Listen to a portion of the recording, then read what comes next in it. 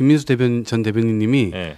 대통령실 대변인으로 가실 수도 아. 있겠다는 난전 아. 초기 무슨 말씀을? 어떤 이유죠? 아니 그러니까 방어를 대통령실이랑. 싱크로율을 네, 지금 네, 200% 맞춘 싱크가. 사람이 아. 거의 안 남았어요. 네. 근데 지금 대변인이 가능할 것 같아요. 아, 근데 그래요? 뭐 보통 이 정도 되면은 네. 피하거나 방송 잘 안 나오고 싶어하거나 그렇죠. 이러는데 나와도 말 별로 네. 이렇게 못 오, 하는데 나와서 정말 보니까 말씀을 그냥 딱 자기의 소신대로 그냥 쫙 어, 얘기를 그렇죠. 하시니까 아니. 바로 용산행이다. 어, 어, 어. 우리 쪽으로 넘어오는 거 어때요? 그거? 말씀 잘하시는 것 같은데 사람이 없어 지금 어? 한 잔 말아야 되는데 이거 저희 저희 어? 부모님 지금 총선 전과 되게 비슷한 형국이에요 결국에는.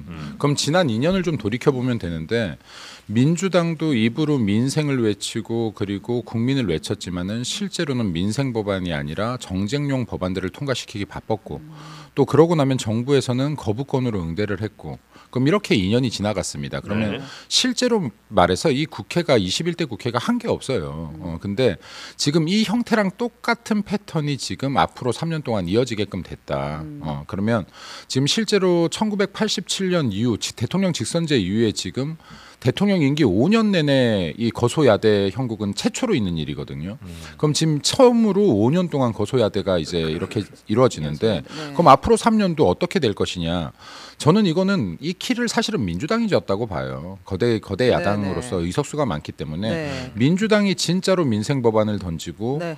거- 던지고 그리고 민생에 대한 것들을 네. 고민을 하기 시작한다라고 하면 여기에 대한 협치가 이루어질 것이고 방금 말했던 특검이나 특검은, 네, 네. 탄핵이나 또 정치적인 것들 갖고 싸우자고 덤벼들면 네. 어쩌겠습니까 거부권 행사해야죠. 그럼 아. 이거에 또 무한 반복이 될 것이다 앞으로 3년이. 저는 그래서 이거를 저는 좀 말씀드리고 싶은 게 국민들의 뜻을 왜곡하지 마라 이번에 표심을 아. 민주당에게 분명히 많은 의석수를 줬어요. 근데 줬음에도 불구하고 이게 정쟁에 이용해라 지난번처럼 정말로 입법 독주해라. 어 그리고 방탄국회 해라고 준 의석수가 아닐 거예요. 네. 어 저는 그러면 여기 대통령 일부 행정부를 경제하라는 의, 수단으로 줬다라고 하더라도 이 부분에 대해서 좀 민주당도 네. 국민을 위한 좀 중지를 모았으면 좋겠다라는 생각 듭니다. 네. 저는 이제 특검은 네. 정쟁이 아니라고 생각해요. 이거는 대통령이 얘기했던 상식과 정의와 법치 음. 이 부분이 모두에게 적용되느냐 마느냐 대통령께서 스스로 가지고 있는 원칙이 지켜지냐 안, 하- 안, 하- 안 하냐의 문제 예요. 음. 그래서 그 문제로 접근을 하고 있는 거고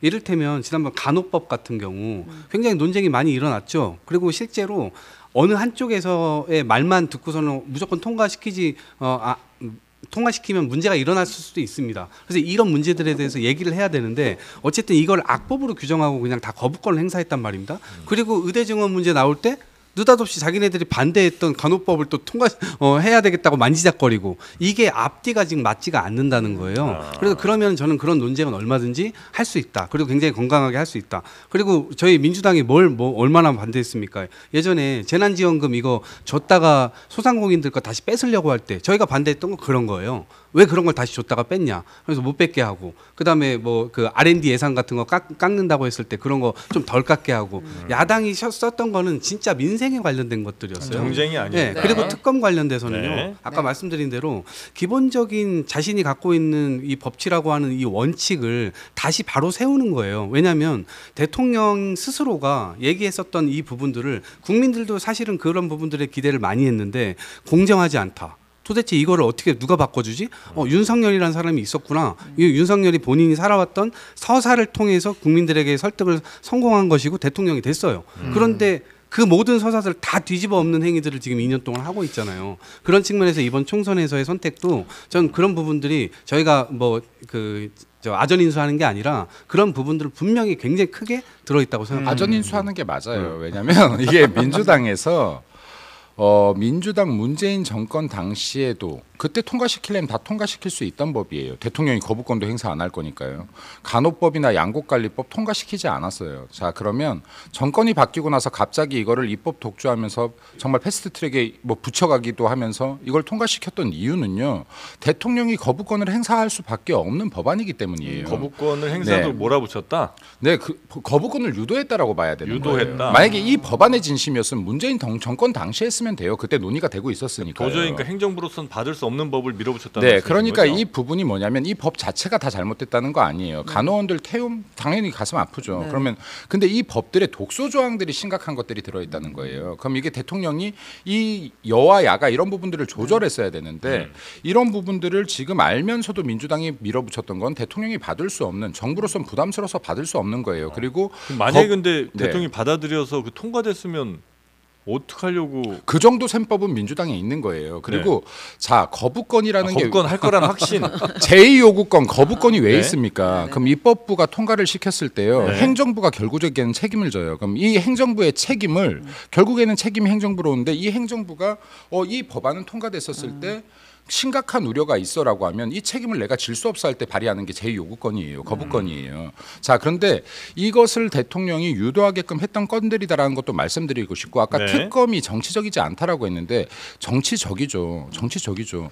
김건희 여사 같은 경우 제가 여기 나와서도 몇 번이나 얘기했죠. 이거 문재인 정권 당시에 계속 수사가 이루어졌던 건이고 혐의가 없어서 기소를 못 했던 건이라는 말씀도 드렸고 네. 지금 조국 신당도 말씀드릴게요. 네, 네, 네. 조국 신당 들어오고 나서 지금 어제 첫 일성이 그거더라고요. 한동훈 특검법, 네, 한동훈 네. 특검법 네. 발의하겠다. 음.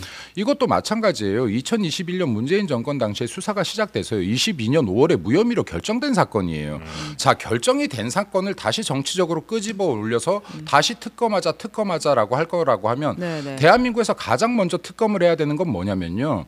지난 항우나 사건 같은 경우 대통령 하명 수사에 의한 정치 정치 수사, 음. 어.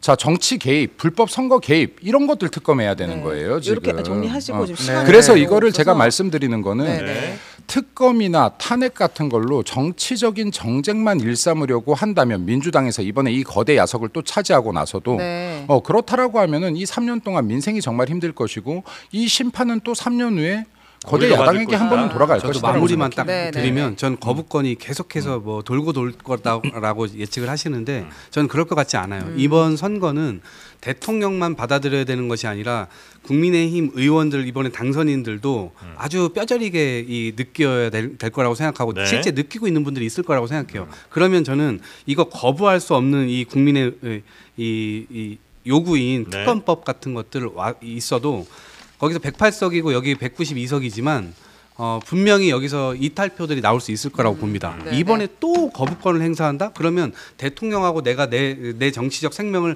함께 걸 만한 이제 공천권도 안 가지고 있어요 대통령은. 음. 그래서 저는 그 거기에 자기 몸을 맡길 정치인 제- 많지 않을 제- 거다. 제가 여기서 네. 또 한 마디만 드릴게요. 이건 보수 정치인들에게 드리는 말씀이에요. 아마도 제가 봤을 때도 최고위원께서 지금 하신 말대로 될 가능성이 네, 있어요. 네. 이렇게 흘러갈 가능성이 있거든요. 보수 정치인들 좀 제발 민주당 보고 배우세요. 얼마나 의리 있습니까?